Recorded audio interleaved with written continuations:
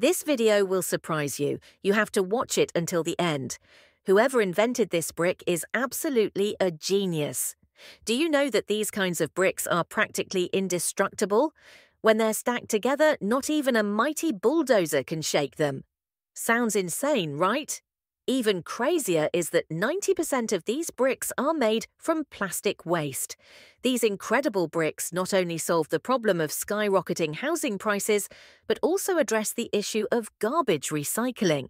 These miraculous bricks were invented by the Canadian company PLX. The process to make them is remarkably simple. Just toss collected plastic into a crusher, which grinds everything into small pieces, then heat these plastic flakes until they become sticky substances. Workers then add some concrete before pouring the mixture into special moulds.